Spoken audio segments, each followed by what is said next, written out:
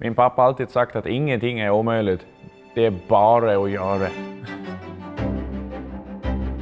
Jag heter Oliver Lundberg, är 25 år och jag älskar chips. Ända sedan barnsben har jag alltid tyckt det varit roligt med företagande, men jag har nog aldrig riktigt fattat vad det är jag tyckt varit roligt förrän eh, nu på äldre dagar kanske. Jag är uppvuxen på en bondgård på södra Gotland, där eh, allt kring företagande bara var en del av vardagen. Och där vi, eh, jag och min syster, när vi var fem år gamla någonting, eh, hade en kiosk längs vägen eh, på sommaren. Och det var en ganska liten väg så det kom ju inte så många kunder.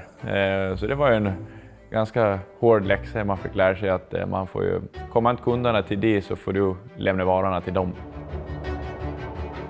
I tonåren så byggde jag och min kompis Rickard om en lager till nattklubb för ungdomar.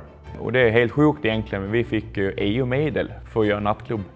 Det blev sån braksuccé så eh, polisen till slut ringde pappa och eh, bad oss att lägga ner det. Så det blev 1-0 till landsbygden. Under gymnasiet producerade jag mycket musik och satt uppe sent på nätterna och eh, höll på med det. Och det gick vägen så pass att flera låtar har över 10 miljoner streams totalt sett på Spotify nu.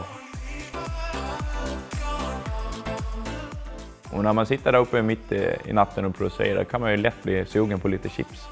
Men eh, så dags är ju butikerna stängda, men som tur är har man då en eh, 20 kilo säck med potatis så man kan göra egna chips. Så det var de första stegen med att göra egna chips.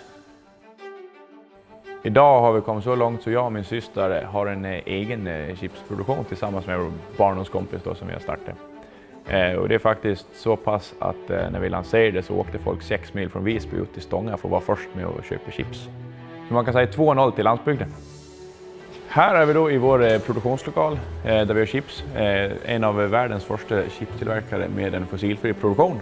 Tack vare gotländsk biogas och nyttjande av våra restprodukter. Nu är vi vid potatislaget och här har vi då 500 ton gotländsk potatis som väntar på att bli chips.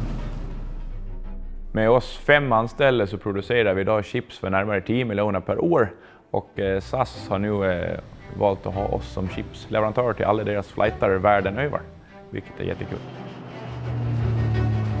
Att få stipendiet från Anders Walls stiftelse känns väldigt hedersvärt och roligt och hoppas det kan leda till att eh, fler blir inspirerade till att eh, starta något de brinner för på landsbygden, trots att de kanske inte har ett öre på fickan. Vad var det pappa sa till dig? Det är bara att göra.